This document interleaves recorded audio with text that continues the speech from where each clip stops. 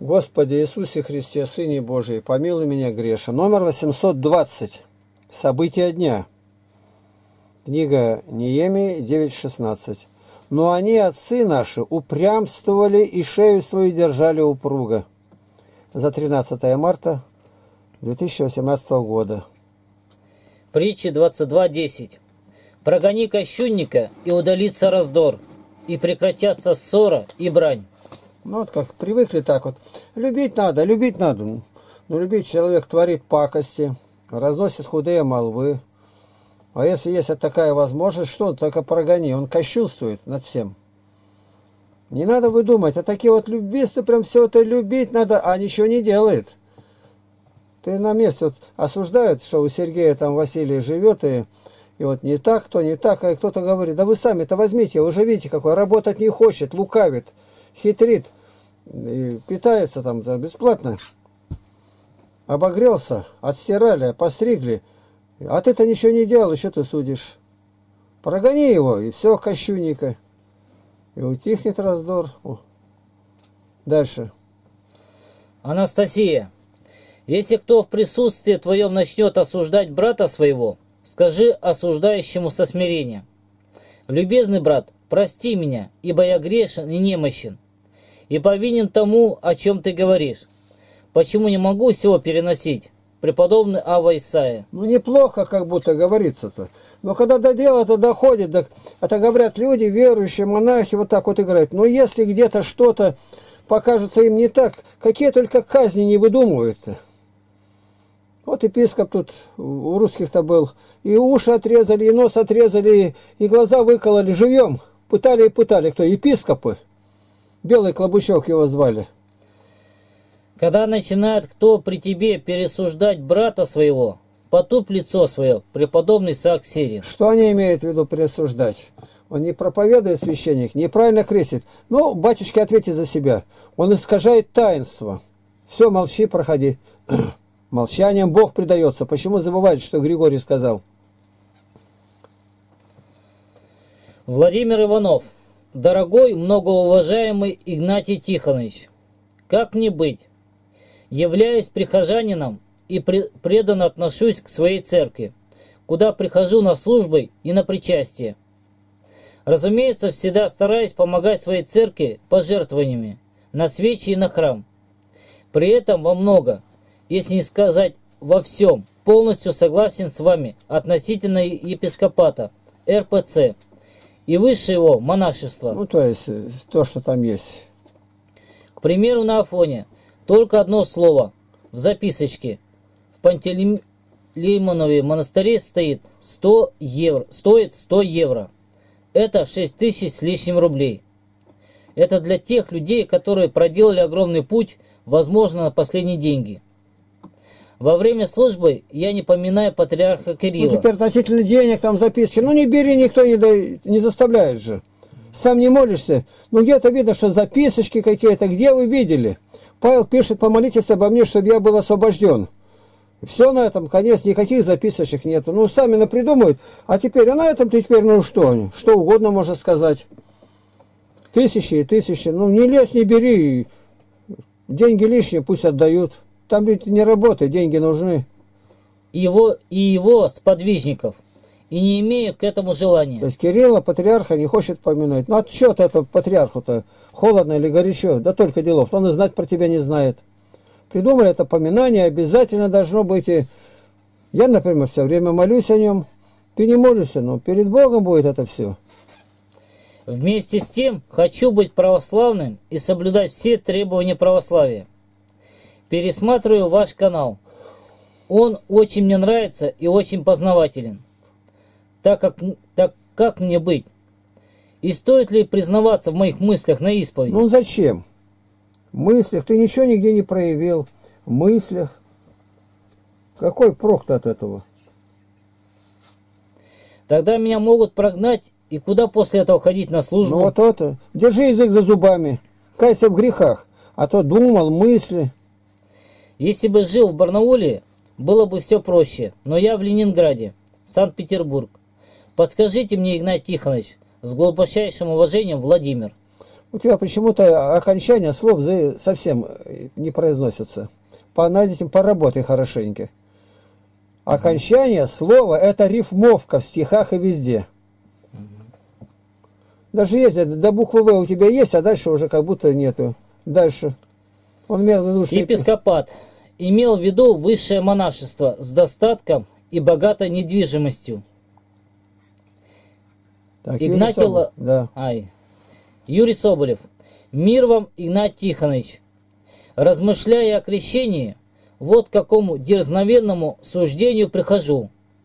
Если, в крещ... Если крещение в переводе на мирское рождение духовное, а тому подтверждение мы находим и в Священном Писании, и у святых отцов, в ваших материалах это изложено вполне, то рождение физическое ведь тоже двух видов бывает.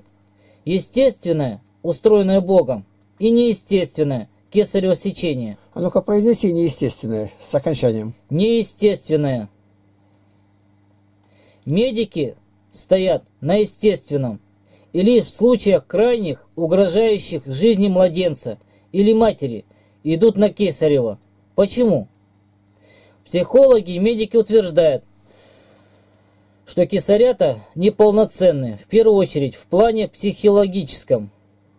А ведь псюхи от греческого душа, не прошедшие, естественно, первого испытания, они и в дальнейшей жизни не способны к психологической твердости в решении жизненных вопросов. Так и в церкви. Обливание – это крещение, страха смертного ради – Поэтому таковых крещенных и не должно допускать в клир, так как на духовном уровне это неполноценные христиане, а посему требуется полное погружение и троекратное. Быть может поэтому, если переводить на духовное, наша церковь и клир в первую очередь такие безжизненные и слабые, прогибаемые, есть возрождение есть, есть возражение против этого. А старообрядцы? Верно, они все до единого крещены правильно, а потому потенциально духовно очень сильны. В буквальном смысле фанатики. Люди очень твердые в вере. Но не в научении. Им не хватает последнего. Это как физически, природно, сильного и способного человека отдать секцию, скажем, бокса – дать все необходимое из инвентаря, но оставить в спортзале одного, не прикрепив к спортсмену тренера-учителя. Разумеется, он и останется лишь на первом уровне, физическом. Поэтому церковь мудро составила каноны о недопущении клиников в клир. А то ведь на сегодня у нас получается не клир, а клин. Нет правильного крещения, рождения и научения – смерть человеку. И в физическом, а главное в духовном плане. Увы, сегодня за, за редчайшим исключением нет ни правильного крещения, ни научения. И если физически нельзя дважды войти в утробу матери, как справедливо замечает Никодим, Евангелие от Яна, 3 глава, то по человеколюбию Господь утроил так, что духовно возможно – Нужно лишь принять крещение полным троекратным погружением. Вот такие мысли, Игнат Тихонович. Молитвенно обнимаю вас. Владимир Галиндухин. Мир вам, Игнатий Тихонович. После приезда от вас я встречался с одним нашим священником, отцом Борисом, молодой батюшка. Поделился с ним впечатлениями от поездки. Получил Получился у нас довольно непростой разговор, но расстались с миром. По поводу крещения канонического полным погружением разногласий не было, и даже бороду обещался отпустить. Но вот по отношению к мощам, говорит, согласиться не могу. Да, батюшка просто помешан на них. Народу в храме два-три человека и одни бабки. И вот пытается завлечь прихожан мощами, а епархия требует денег. Вот и впадает в уныние батюшка. Ну, ну что тут есть божественное? Ну, допустим, ну, нравятся мощи. Там польют э, в вине таком, обмывают их. Пять органов чувств. Первое, смотреть приятно. Ну, представь, берцовая кость, как она там увеличена, там, какая она ровная, бывает желтого цвета, глаза радуются. Дальше, ну и любят говорить о костях, может быть, там они звенят. И на вкус, и на нюх. Ну, все органы радуются. Но в силе остается прах, ты и в прах возвратись. Ну, как это не понять-то? Ты что угодно теперь говори о мощах. Вот кому эти мощи не попадут, все, все кладбище встанет. Но Слово Божие говорит, прах ты и в прах возвратишься. Не то, что там у Елисея мощи коснулось, но у вас-то ни одного не воскрес, никто. Ну, нарочно натягивает на себя-то. Ни одного не было случая больше за всю историю, чтобы к костью или к мертвому прикоснулся, человек воскрес и побежал. Нету. Дальше. Но согласился, что нужно что-то делать и в первую очередь проповедовать живое Слово Божие. И еще показать делами, как ты сам живешь по заповедям. На деле получается в проповеди одно, а в жизни на деле совсем другое, далеко не евангельское. Вот и отвращается народ от таких священников, епископов, и как следствие от церкви. С радостью вспоминая пребывание в Потеряевке – как будто побывал в другом мире и в другое время. Спаси Христос. Я читал там один э, какой-то немецкий князь, у него замок, ну, окрестность, там есть земли принадлежат, ну, все бедно-бедно. Но познакомился с епископом, и что-то он ему угодил, сейчас не помню. Епископ говорит, ну, что тебе надо-то? Он говорит, да у меня так-то все есть. Вот местность такая захудалая, там прибыли никакой нету, и все бедно. Ну, а я что могу сделать? Владыка, дайте мне мощи. У вас от святой лежит, там совсем мало людей, а наша местность далека от вас. Да бери, потом принесешь, если нужно будет. Он взял с почестями, принес и везде дал объявление. Объявление, так, к нам не надо подходить даже сейчас. Я же сказал. Он привез мощи, везде объявил, народ потек, стали свечи покупать. Года два прошло, он все поднял, и сельское хозяйство, и шахта опять заработала, все поднял мощами. Мертвый поднял. Это как в Испании. Ну, нет денег после войны, ну что делать, ниоткуда денег нет. А один человек деловой такой. И он говорит, вот знаете, Испания тоже имеет какие-то ценности, ну, архитектурные, древние. Надо развить туризм. Ну и люди будут приезжать и покупать что-то там, а мы разные сувениры будем делать. Ну а кого поставить? А только так его и поставить надо. Он активный такой. И через него поднялось все. И сельское хозяйство, и все абсолютно подняло. И армию вооружили. Ну что значит э, паломник? Вот э, сколько едет в Израиль? Это золотая жила. Так сказать, евреи, они не признают Христа, считают его обманщиком. Люди едут поклоняться. Гроб Господень и прочее. Да как они разрешают? Да тут ни, никакой роли это не играет. Твердости веры не дает. А поток идет. Вот он говорит, за одно слово плати 6 тысяч. Александр, Александр Марьясов. Мир вам. Приятные слова и приятно читать. Дай Бог здравия и долгоденствия брату Юрию в его соучастии и солидарности в делах Божьих. Но есть Игнатий Тихонович и другие слова, слова крайней злобы, ненависти и беспутственного обличения – Второй день меня атакует батюшка Сергей Дудин. Не знаю, что с ним произошло, но он явно раздражен и ненавистен к вам. Второй день он ищет во мне своего соучастника в обличении вас в прелести и ереси. Не знаю, что между вами произошло, но думаю, что-то серьезное. Ну, ничего не, не было и нет, он гоняется за всем. Это больной человек, больной. И такие пакости делают. Я ему просто кличку даю подлый, с большой буквы. Вот, вот 1300 человек ко мне ВКонтакте заходят, он кому-то скажет, давайте нажимайте, нажимайте. И заблокировали опять недели, две, опять никого нету. С ним были беседы вначале хорошие, теперь гоняется. Валентина Сартисон взломал, все и утащил. Ну какой это? Он даже как человек-то никакой. Батюшка, теперь еще председатель миссионерского отдела. Самое злобное, самое коварное, бестолковое лезут в миссионерский отдел. Их нельзя создать, это выдумка. Христос их не создавал. Он избрал на апостолов, вот и миссионерство в избрании. А избрания-то нет, он теперь и колготится, лишь бы деньги давали. Так я ничего не могу не отвечать только. Я пытался призвать его к смирению и самообладанию. Ведь такая ненависть и злоба, она не дает покоя ни сердцу его, ни душе. Ну, он в церкви стоит, там руки поднимает, он неверующий совсем. Страха Божия никакого нету, понятия не имеет. И кривляется лицо, на лицо-то посмотришь, и видно все какое-то ехидство одно. Он чуть не криком кричит, чтобы я покаялся и признал за собой грех за распространение ваших замечательных книг хотя они для него таковыми не являются. Он по ним вел занятия. Занятия. Но когда им перед ним засветилось, что убрали там Степаненко с этой должности, то его на это место, он как с ума сошел. Ну, денег-то нет, на стройку не пойдет работать. Призвал его покаяться и смириться хотя бы с самим собой. А то так и до беды рукой подать. Спаси Христос. Ну, у Бога все есть. В темечко сунет Господь и до свидания. Тарасий Пикаш. Игнатий Тихонович, благодарю, что не забываете, присоединяясь к мнению Юрия Соболева по поводу митрополита Сергия.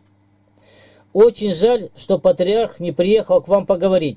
Это большая его ошибка. Ну, он рядом был в Барнауле и до нас не доехал, не допустили его. Выступление патриарха в Барнауле показывает, что он ослеплен строительством храмов по всей земле. История ничему не учит. Если бы он услышал вас и все эти колоссальные средства бросить на проповедь, ход событий изменился бы в лучшую сторону. Я проповедую по мере сил. Бог дал машину. Дом в поселке Белка Одесской области, 50 километров от Одессы. Мечтаю организовать центр православного миссионерства по вашей схеме. Дело только за финансированием. Он работает в дальнем плавании, матрос плавает. В селе монастырь, три храма. Можно в интернете посмотреть. Село маленькое. Через месяц на судно. Смиряюсь. За все благодарю Бога. Храни вас Христос. Игнатий Лапкин. Мысль хорошая о том, чтобы каждый ролик на нашем видеоканале снабдить и оглавлением что и на какой минуте, секунде. Ну, вот такое, чтобы понимали люди, что за содержание, как найти-то. Раз и нашел. Но кто это сделает? Вот события дня. Регулярно, хотя и не с самого начала, снабжает такими сопроводительными данными Андрей Недоступ. Мне не удалось найти таких помощников. Труд очень большой. Вот хотя бы по собраниям в воскресные дни никто не взялся по сей день. А про меня что сказать? Не только иногда, некогда, но абсолютно и всегда некогда. Говорят, что в одном государстве мыши были весьма встревожены положением на складе пищевом. Принесли туда кошку Мяу, и она начала душить днем и ночью. И мышиное царство начало скукоживаться. Тогда было собрано совещанием Верховной Рады, мышиной или Думы крысиной и решили, что самое лучшее – повесить кошке на шею звонок. Остался нерешенным до сегодня только один вопрос – кто это сделает? Вот так и тут. Ну, надо повесить, чтобы кошка идет и сразу зазвонила, и они, мыши-то разбежались бы. А они ее не видят, не слышат, она в темноте их душит. Практически самое быстрое восполнение записи – себе, себе самому выйти на меня с вопросами – чтобы не менее чем на полчаса. Разный и для разных роликов себе будешь уже отсюда брать. Евтушенко Сергей. На фоне экономической войны Израиля против церкви появляются вот такие вот новости. Армянский священник рассказал о происхождении благодатного огня. Представитель армянской патриархии Самуил Агаян рассказал в репортаже телеканала Хадашот 2. Как на самом деле зажигает благодатный огонь в храме грома Господня. Агаян трижды присутствовал в Кувыклии при зажигании огня. Ну, там пещера, в которой находится. Говорят, оно само вдруг раз и свеча загорается. Он заявил, в ролике необъяснение начинается на 11 минуты 08 секунды, что патриархи зажигают связки восковых свечей от масляной лампады. По словам по словам Агаяна, Бог творит чудеса, но не на потеху людям. И ничего мистического в этом процессе нет. Там горит у них все время, никого туда не пускают. А вот выходит патриарх, все, благодатный огонь, все загорелось само. И меня все время спрашивают, а вы верили? Никогда не верил. А как вы знали? Никак не знаю, просто молюсь и, и понимаю, все обман. И сатана огонь будет с неба сводить. У них есть связки свечей. Мы называем их факелы. И они поджигают их от масляной свечи. И От прис- масляной свечи, от масляной свечи. да. И И, представляют и только представляют благо- его как благодатный огонь. Мы верим в чудеса. Но я был там три раза. И это, не, и это не Это чудо. не чудо. Самуил Агаян. Представитель Коптской церкви не согласился с этим высказыванием и потребовал остановить съемку, обвинив его во лжи. Агаян возразил, что копты не присутствуют при зажигании огня, в отличие от армян.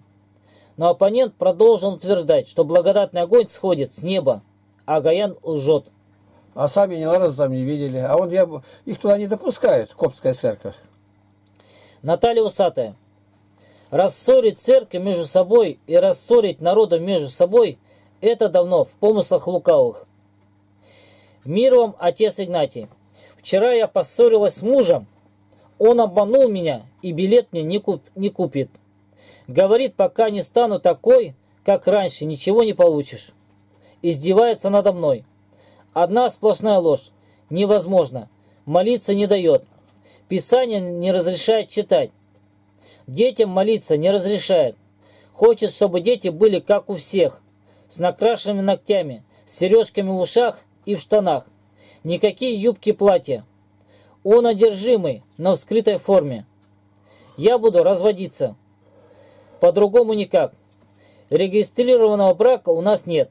Только дети записаны на его фамилию. Я больше жить так не могу, и дети мои, другие не, не, другие не такие, как все дети.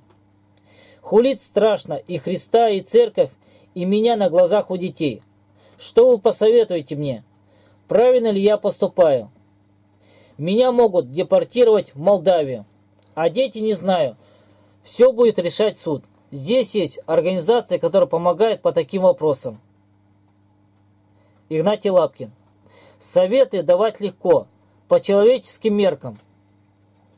От такого тирана, конечно же, нужно бежать, скажу, скажут вам.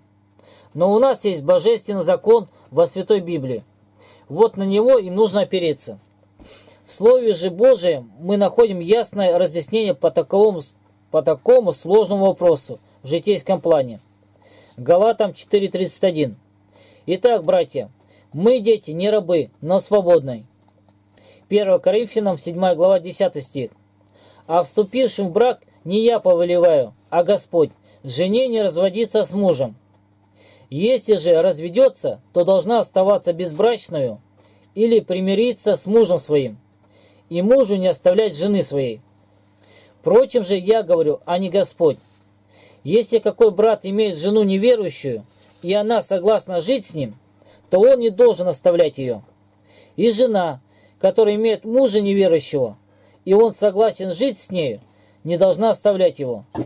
Ибо неверующий муж освящается женою верующую, и жена неверующая освящается мужем верующим.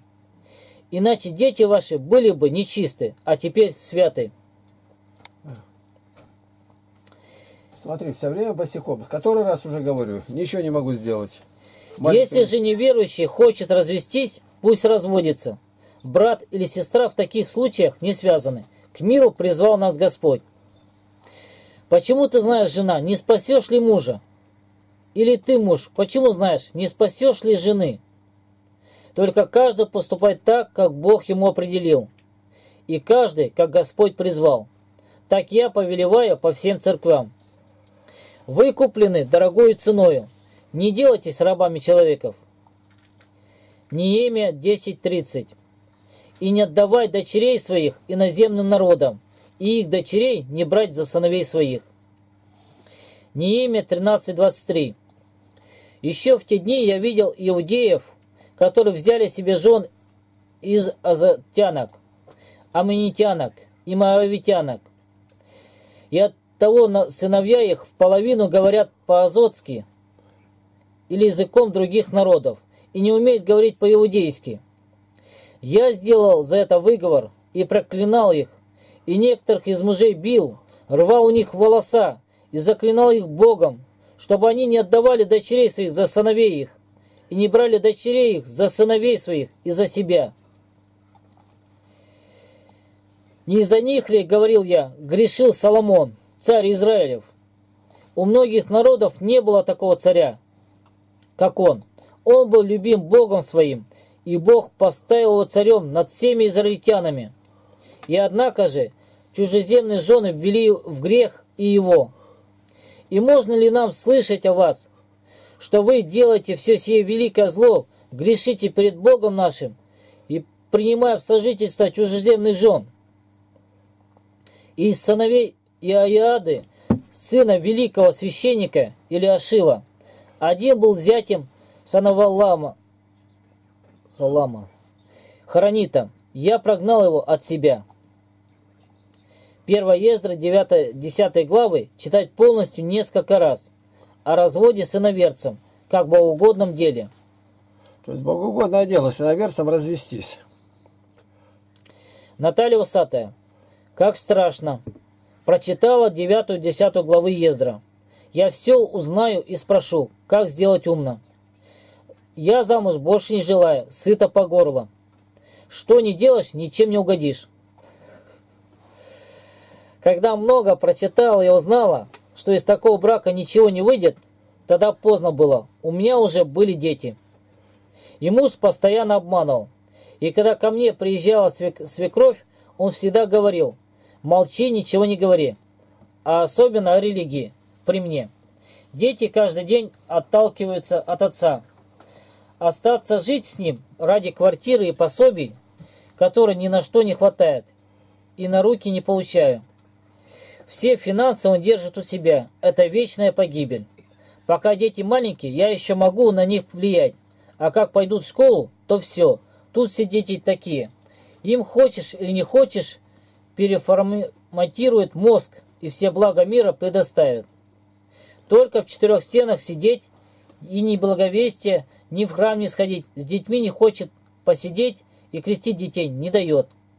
И мне сказал, ты что, совсем чокнутая? Какое крещение? У него давно есть такие мысли, оставить меня, а детей забрать. С ума сошел. Игнатий Лапкин. Пусть кто узнает, продает ли Роман контейнеры. Хорошо было бы, если бы он оставил каталог цен на то, что ему необходимо продать и получить деньги. Переслать ему. Может быть, кто приедет и товар его может купить. купить. Елена Барабаш. Батюшка у Романа спрашивал про цены. Он пока не знает. Ждет суда 14 марта. Вот сегодня 14, но отложили, говорит, на 15. Сегодня день Евдокии, это начало весны. Мне пришло вот такое письмо от Людмилы Дятловой. Здравствуйте, Елена. Случайно нашла канал на ютубе Игнатия Лапкина. И смотрю с удовольствием. И часто вас там вижу. А посторонние люди могут приехать в Потеряевку, просто отпуск провести.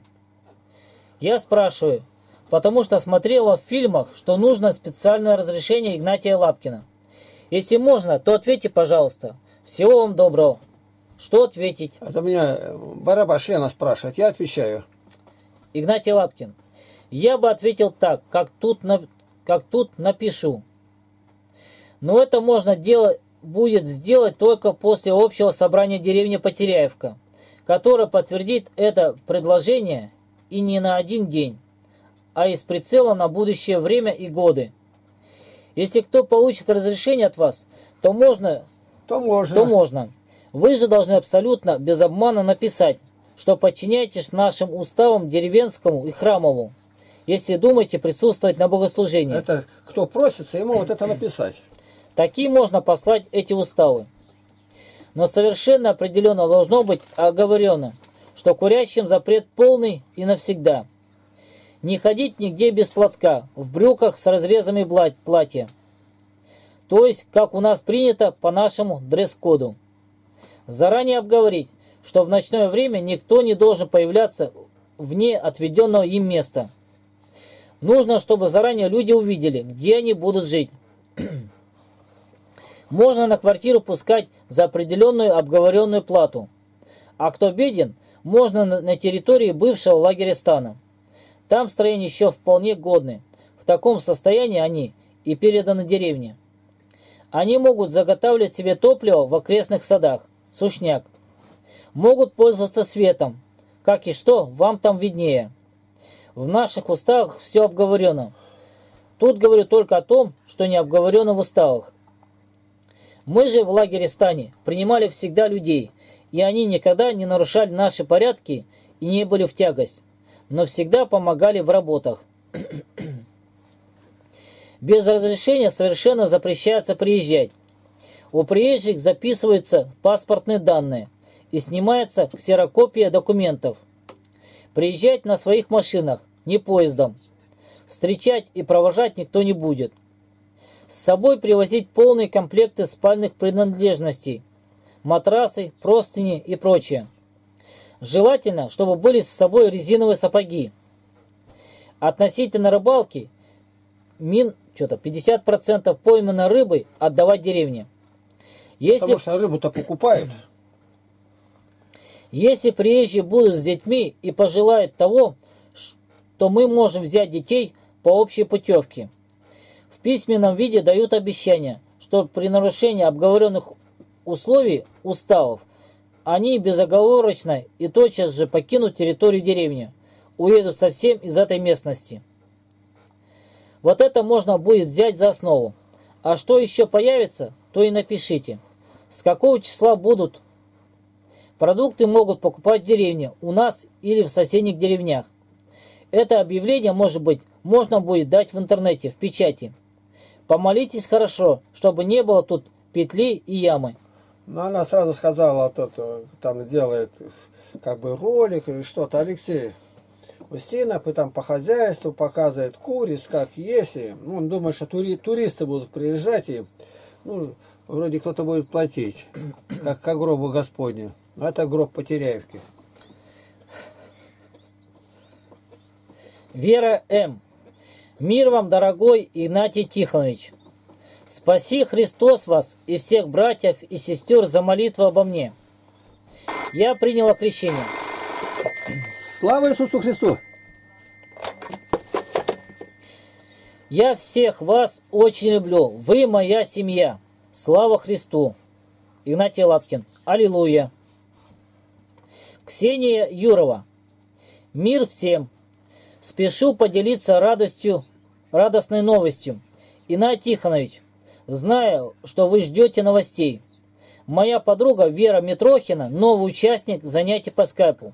Сегодня, сейчас приняла святое крещение в храме Николы на Берсеневке. Виталий Калиников. Аллилуйя. Что это, ролик? Ролик там, это, или фотография, что-то такое. Вера Митрохина. Спаси всех Христос. Всех очень люблю. Слава Христу. Аллилуйя.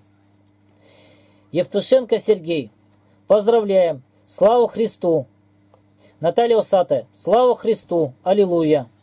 главное, все одну букву пропускают. Да. Анастасия. Благодатный огонь. Кавычки открыты. Знамения увлекали более грубых, а более разумных пророчества и учения. Потому те, которые были пленены учением, были тверже привлеченных знамениями. Ян Златоуст. Надо считать Слово Божие укрепляться, а не мощи там какие-то искать. Мир вам, Игнат Тихонович.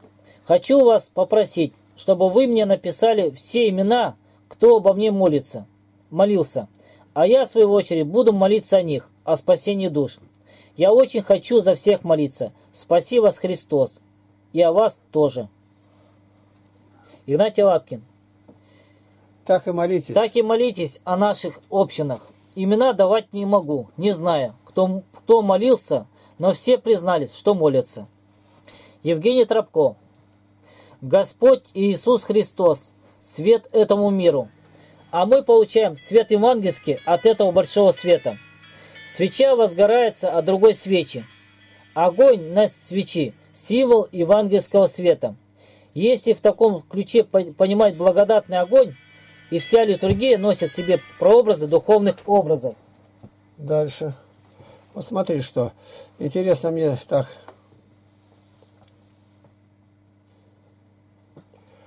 Интересный, мне скинули материал, просто интересный. Вот посмотри какой. Вот. Гляди, покаяние Раввина. Это не просто так, а Раввин перед русским народом и говорит, мы захватили Россию, убили 30 миллионов образованных русских. Вот он, Равин, вот его видно, ну, все есть. Ну, я отдельно его сделал так, чтобы крупно было и просчитать. Посчитай.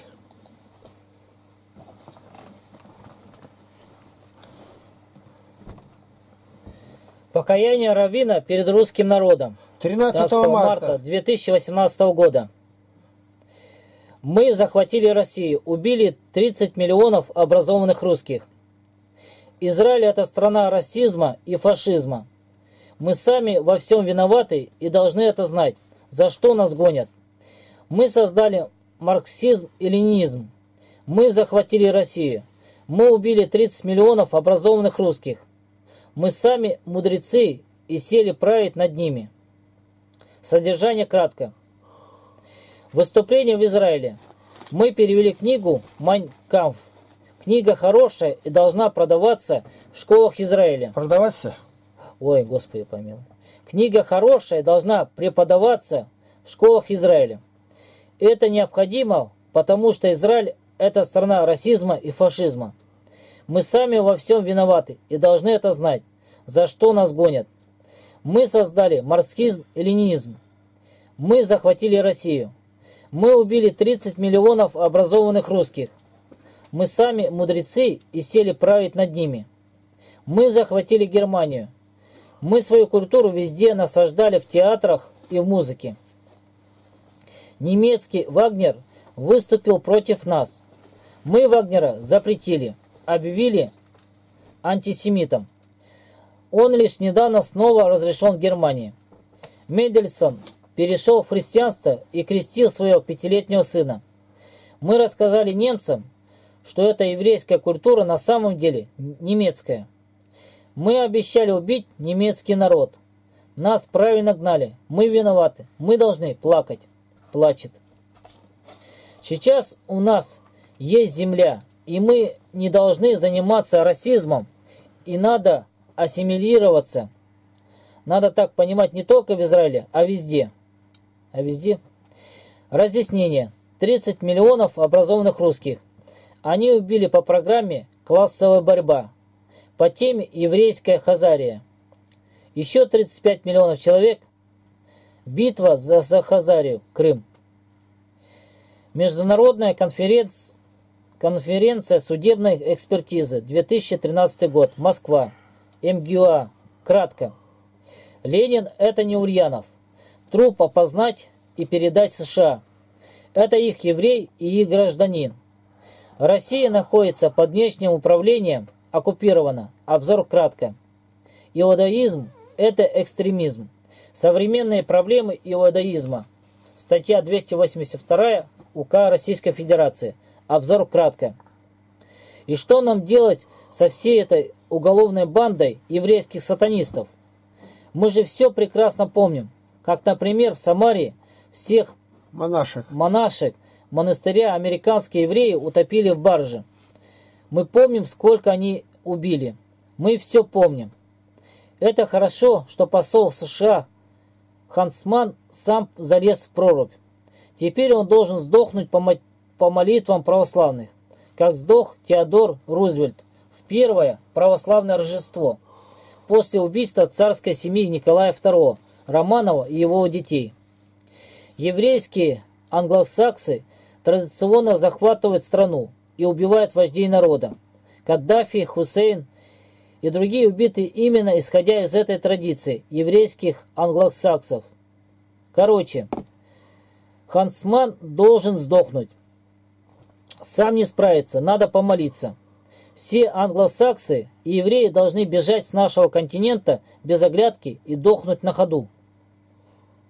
Самый известный мормон Мит Ромни и его обещание убить Россию. 2012 год. Президентская кампания в США. Выступление Митта Ромни. Ровни в программном выступлении перед избирателями штата провозгласил новый крестовый поход на Россию. Мормон стоит. Пожалуйста. Леди и джентльмены, начал свою речь кандидат в президенты США Мит Ромни. Наша цель – Россия.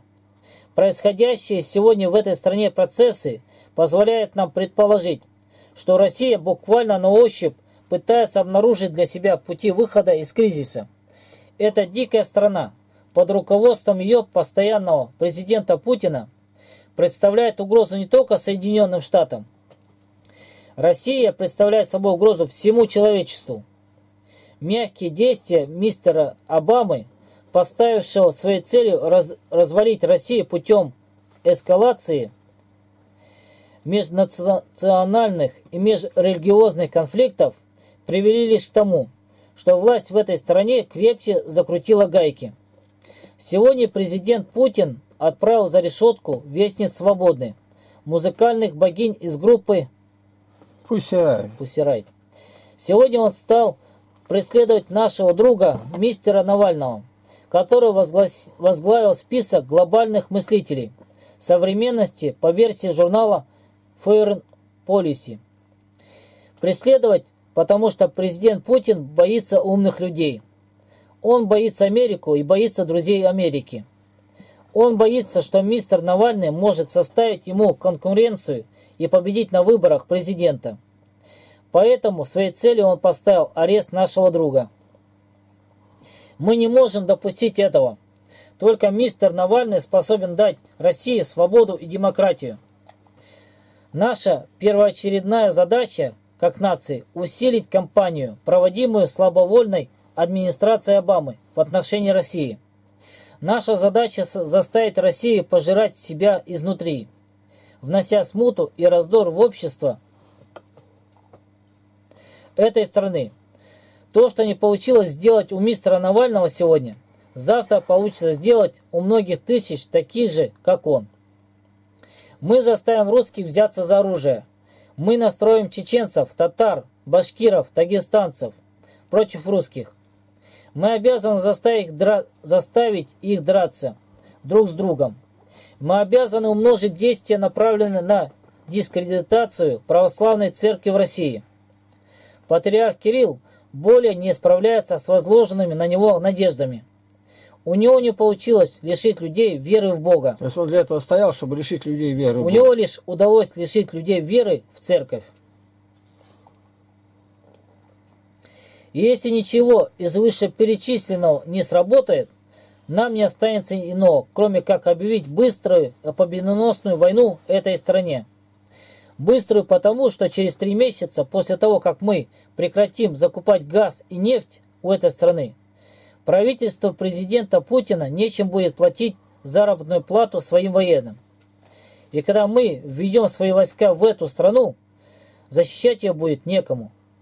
Потому что мы недавно истребили дух... Мы патри- давно, недавно. Потому что мы давно истребили дух патриотизма в русских, превратив их в нацию злобных, мелочных и завистливых недолюдей. Мы заставили их ненавидеть свою страну, ненавидеть друг друга, ненавидеть собственную нацию. Русских больше нет, мы их уничтожили. Мы разрушили СССР, мы разрушим и Россию. Так закончил свое выступление кандидат в президенты США Мит Ромни. Приглашаем всех бывших граждан СССР готовить гражданские иски против США за потерю вкладов и имущества в связи с развалом СССР из-за действий США. Необходимо рассмотреть гражданскую ответственность США, в том числе за организацию межэтнических конфликтов и терактов для тех же целей, организация войн и связан с этим потеря имущества, денег, гибель родственников. Ну и сколько? Посмотри. 44 минуты. Ну, просто половина прошло. Так, ну-ка. Ну-ка, подожди-ка, кто у нас тут? Подожди-ка. О, у нас гликерия тут сегодня. Вот, на молитве мы были. Володя считал. Тут баба Надя, она занимается ею.